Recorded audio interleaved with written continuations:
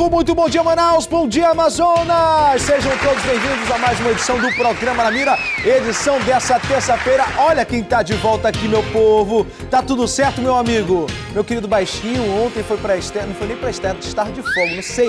Não sei camarada já, já, já vive de folga, né? Não vejo nem trabalhar direito, tá de folga. E aí, Rui Mendes, tudo certo, meu amigo? Glória a Deus, vem pra cá, vem pra cá, que eu preciso perguntar pra ele. E aí, meu amigo, tudo certo? Tô sabendo do presente que você deu pra sua mulher, hein? Eita, olha o sorriso no rosto aí, tá certo, meu amigo. Meu povo, 3307-3950, 3307-3951, 3307-3952. Para que serve esses números, Luiz? Para você ligar para cá, falar ao vivo aqui no programa e dizer aí qual é a deficiência na área da segurança que está acontecendo aí na sua casa. É o que? A falta de iluminação que está fazendo que os criminosos estejam ali assaltando? É gente andando armado? Tem gente fazendo fuzuê próximo à sua casa? Liga para cá, fala comigo que a gente cobra das autoridades públicas. Eu tenho outra alternativa também.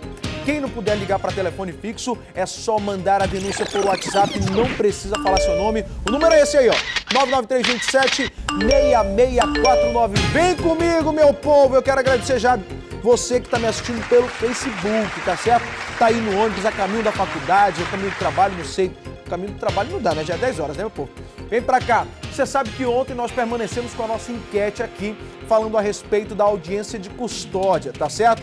Vai lá no Facebook, vota ainda que ainda dá tempo. Daqui a pouco eu chamo aqui para mostrar o resultado parcial dessas. Posso chamar na tela, diretor? Vem aqui, coloca aqui na tela. A pergunta é essa: você concorda com a forma que a audiência de custódia está sendo aplicada hoje? Minha gente, 92% está dizendo que não e apenas 8% diz que sim. A enquete fecha hoje. Você ainda pode votar, é só entrar no Facebook da TV em Tempo e fazer lá a sua escolha, tá certo? Vem pra cá comigo, vem pra cá comigo, tem muita informação no programa de hoje e eu já vou abrindo com coisa importante. Ontem à noite, três assaltos a coletivos foram registrados em menos de uma hora. Sabe onde? Lá na zona norte de Manaus. Em um dos casos, o passageiro ficou ferido depois de ser agredido pelo criminoso. Sabe por quê?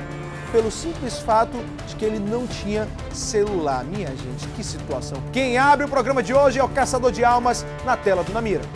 A cabeça ensanguentada deste açougueiro mostra uma realidade cada vez mais comum na cidade. Ele falou assim: cadê o celular? Passa o celular e cadê? Eu não tenho celular, não, meu amigo. O relato da vítima é o mesmo de mais dois assaltos ocorridos minutos antes, em outras linhas de ônibus, na mesma região da cidade. O roubo foi na noite desta segunda-feira. Dentro do coletivo da linha 030, estilhaços do vidro de uma das janelas, que quebrou com um tiro de arma caseira.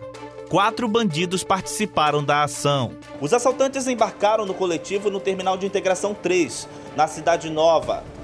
O veículo tinha acabado de sair da estação e passava pela Avenida Max Teixeira quando os criminosos anunciaram o assalto. Eles foram bastante violentos com os passageiros, que não tiveram outra alternativa a não ser entregar os pertences. Esta mulher, que tem medo de mostrar o rosto, também estava no ônibus. Acompanhada da filha especial, ainda nervosa, ela relata o prejuízo que teve. Levaram tudo, tô sem nada, sem passagem, sem nada. Levaram o documento dela, o meu, o passe, tudo. Os três assaltos foram registrados com intervalo de menos de uma hora no 6 Distrito Integrado de Polícia. Nenhum dos suspeitos foi localizado.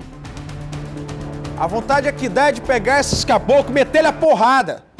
A vontade é que dá é pra pegar esses camaradas e encher de porrada. Porque, minha gente, é inadmissível hoje em dia nós temos esse tipo de situação aqui em Manaus ainda. Claro, nós temos a Operação Catraca, mas que infelizmente a polícia não tem bola de cristal para colocar, montar uma barreira ali para revistar os passageiros né, em todos os cantos de Manaus. Infelizmente não tem como. Mas é inadmissível você pegar, né, estar dentro do transporte público, porque isso daí não é uma obrigação só do poder público, não.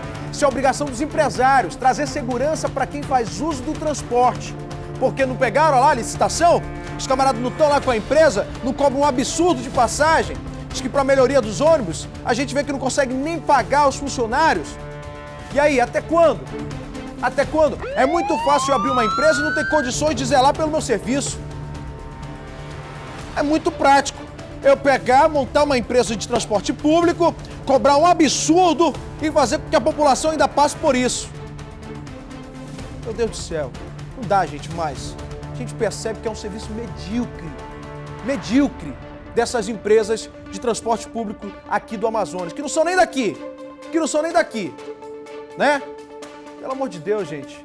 É o pai de família, é a mãe de família, é o trabalhador que está sofrendo na mão da bandidagem. Não dá mais, meu povo.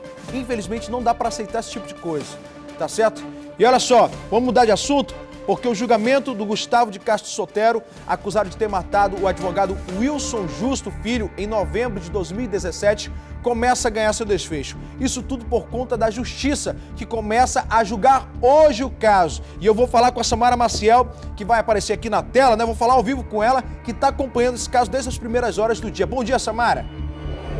Bom dia, Luiz. Bom dia para você que acompanha o programa na Mira. Exatamente. Esse julgamento, na verdade, já era para ter começado às 9 horas da manhã, mas aconteceu alguns atrasos lá dentro, problemas internos e até o momento não começou. Os jurados já foram chamados, mas nem todos chegaram aqui no fórum. Também alguns promotores não compareceram ainda à sala, advogados. Ainda está faltando muita gente da equipe. Aqui na frente, como vocês podem ver, o Luiz Fernandes está mostrando para vocês, é a fila para a entrada nesse júri popular, que é aberto à população, né, como nós explicamos durante a nossa programação, durante os nossos telejornais. E nós temos familiares, estudantes de direito, tem familiares tanto do Sotero quanto da vítima, né, entre outros participantes que querem participar desse julgamento que começa hoje e tem a previsão de terminar no mínimo de três dias. Mas se acontecer alguma coisa, se alguém faltar, esse julgamento ele pode se estender pode se estender para uma semana, duas. E importante, Luiz, é destacar que tem uma mulher que trabalha na OAB que ela veio aqui fora com a nossa equipe, ela conversou um pouco, mas preferiu não falar o nome e também não quis gravar entrevistas. Ela disse que estão uma reunião lá dentro do fórum, lá atrás do plenário tem uma sala que eles estão reunidos e tem a possibilidade de pedir para que esse julgamento seja adiado. Até o momento nós não temos informações oficiais, porque essa mulher ela não quis se identificar, também não quis aparecer. Mas tem essa possibilidade do julgamento ser adiado, isso aí vai dificultar, dificultar cada vez mais. Daqui a pouco no programa agora nós vamos trazer mais informações sobre a defesa, sobre a acusação. E pode acompanhar vocês de casa, os nossos telejornais, que nós vamos fazer entradas ao vivo aqui do Fórum Enoque Reis, viu? Volto com você, Luiz. Obrigado, Samara Maciel. Eu espero que não demore uma semana. Eu espero que não demore três dias. Né? A, a família da vítima precisa que a situação seja resolvida. E até mesmo a justiça, e eu digo a justiça popular, a população quer que esse caso seja resolvido, porque aí nós vamos ver, nós vamos ver qual a índole das pessoas né, que estão em torno dessa situação aí. Eu espero que a justiça seja feita, que a justiça seja feita. Tá certo? Vem pra cá comigo, olha só, tá liberado o telefone 3307-3950, 3307-3951, 3307-3952.